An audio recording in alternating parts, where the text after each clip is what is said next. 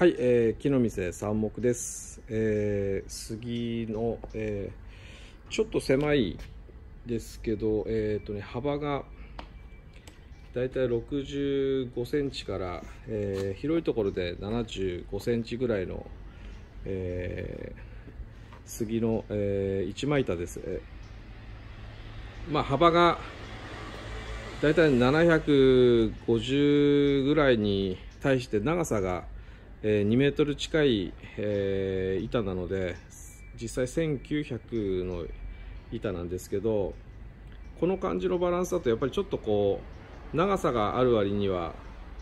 えー、幅が750って決して狭くはないと思うんですけど、えー、バランス的にはちょっとこう狭い感じには見えるんですけどまあ、えー、実際この長さで使うよりは経験的には、えー、1500とか1600ぐらいに、えー、カットして、えー、ローテーブル、え座卓のローテーブルに使ったり、えあ和室ですね。和室とか畳の部屋の、えローテーブル座卓に使ったりとかが多いかなと。そういった時にあとはこの辺から短く切った部分で、えーと、座卓のこう足を取ったりとかっていうのも、えー、今までよくやってました、えー、というわけでこれも、えーと、今から植物油で、えー、塗装していきます。はいじゃあお願いします。いつものように、えー、植物油、えー、オスモカラーですね。のエキストラクリアをまず最初に塗っていきます。この木も、えー、やっぱり目摘みがだいぶいいですね。すごく細かい白田の部分で結構ねこうやってすごく目摘みがいいですね。そして、えー、芯からもね結構遠いので。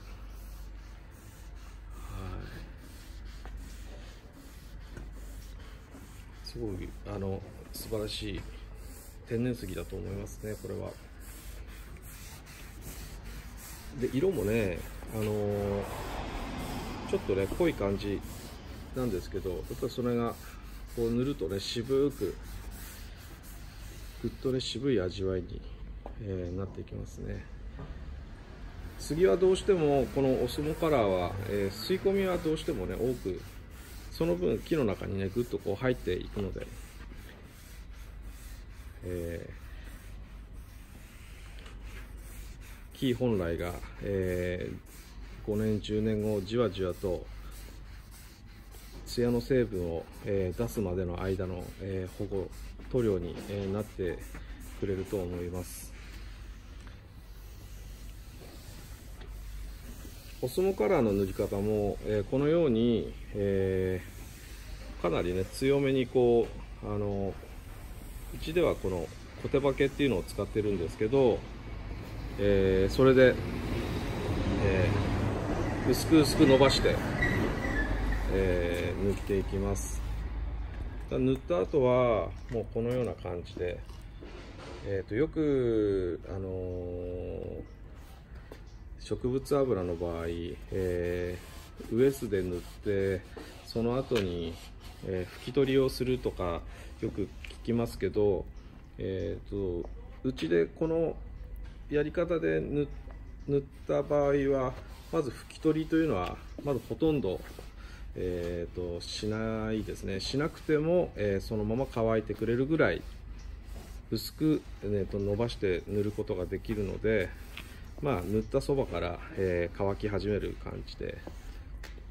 例えば今もこうこうやって塗ってますけどここの部分こうやってこういうかな。こういった感じですね。もう塗ったそばから、えー、もう乾き始める感じなので、え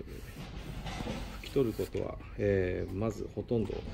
たまにねちょっと多めにつけすぎて、え塗料の行き場がなくなった時に、えまあ、拭き取るっていうぐらいです。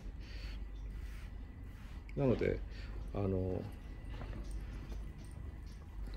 最初に塗る時にこの刷毛につける塗料の量が多すぎる方がすごく多いかなと思います、え本当にちょっと、えー、先の方に少しだけ、えー、つけて塗り伸ばしていくとあの皆さん驚かれますね。こんなにあの薄く伸びていくのかっていうのでその辺で、えー、たくさんつけないで、えちょっとだけつけて薄く伸ばしていくと。という感じです。で、えー、という間に、えー、天然石ですね。の、えー、一枚板。塗装が1回目終わりました。こういった感じです、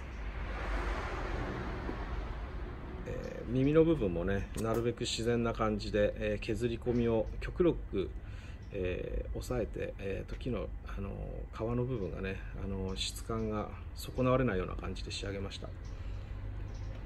といった感じです、えー、以上、え塗装を終わりました、えご視聴ありがとうございます。